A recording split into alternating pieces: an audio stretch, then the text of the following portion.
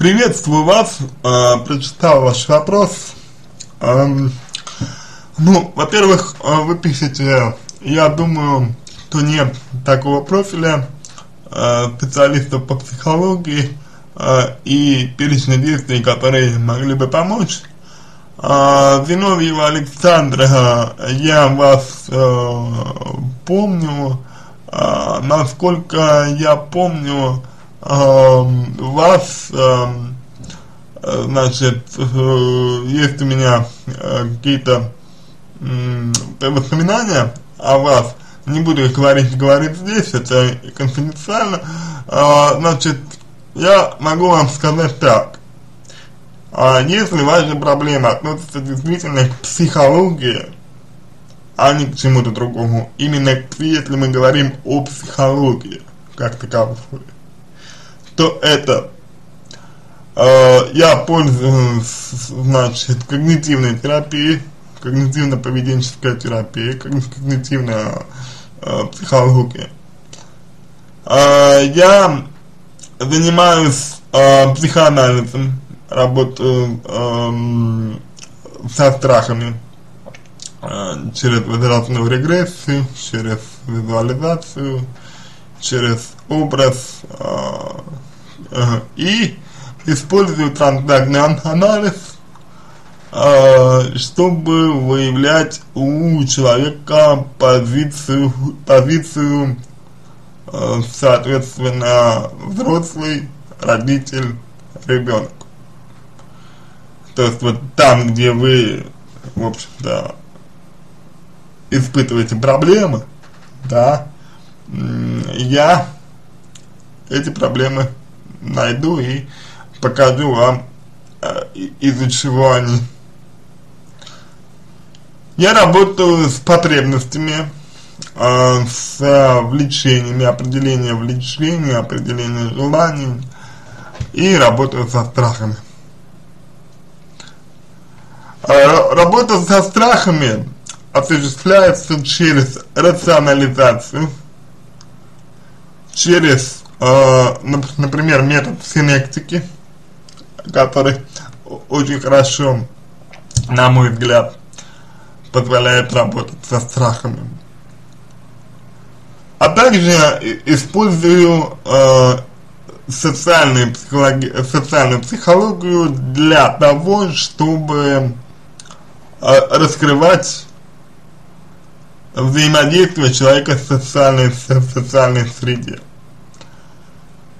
Также, являясь психологом лично, личности, я исследую проблему личностного выбора и, и помогаю человеку понять, что такое личность, что такое выбор личностный, что есть индивидуальность, что есть отстаивание индивидуальности и так далее. А, на мой взгляд, на мой взгляд, а, я должен сказать, чего я не использую. Я не использую нейролингвистическое программирование. И не использую э, какие-то такие вот техники, которые э, сродни, знаете, гипнозу, сродни э, условному научению. Но при этом я использую деятельностный подход. И в рамках деятельностного подхода я считаю целесообразным э, обратить внимание на оперантное научение, на технику оперант, оперантного научения, на, так сказать, э, воплощение образности в реальность. Также я использую для работы с личностью э, историческо-культурный подход. То есть это один из методов, способов работы именно с личностью. С личностью. А в рамках работы а, с личностью и с комплексами А я использую, а, значит, подход ложных понятий, искаженных понятий, соответственно, преобразовывать ложные искаженные понятия в истинные понятия. Я работаю с невыраженными эмоциями и переживаниями, то есть попыткой их, э, я их э, ищу и помогаю человеку э, выразить их. Э, я работаю с комплексами линейными и комплексными, ядер, комплексами ядерными. То есть линейный комплекс это одно, ядерный комплекс это немножко другое, но у них есть определенная специфика. И социальная психология позволяет говорить о том, что по сути многое из того, что каждый из нас о себе думает, связано и с тем, что человек видит в отношении других, и с тем, что человек как бы додумывает за себя, за других, простите, за других, додумывает за, за, за других. И в этом контексте э, я использую одну очень интересную схему, которую можно охарактеризовать так. Есть то, что я думаю о себе, есть то, какой я есть, как он, каким я был, был создан, каким я появился на свет, и есть то, что обо мне думают других и другие. Это три ступени отношения между людьми отношение человека к другим. Я помогаю лучше э, дифференцировать данные ступени. Правильно их воспринимать, правильно их оценивать и правильно их интерпретировать.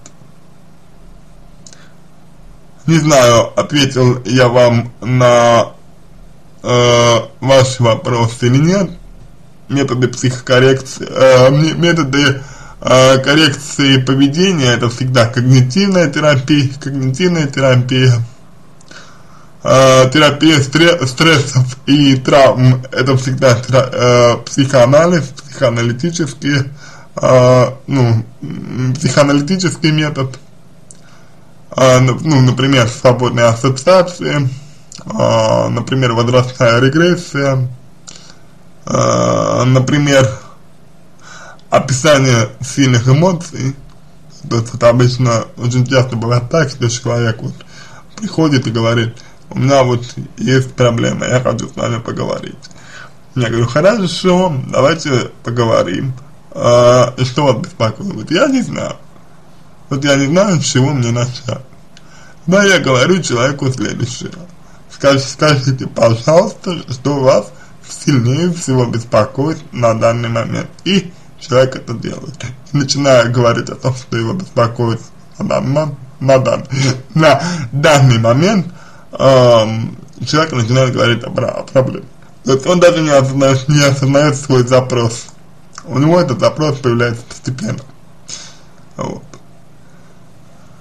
То есть, э, я помогаю осознать свои потребности, свои желания, свои проблемы. А, вот в принципе то, что, наверное,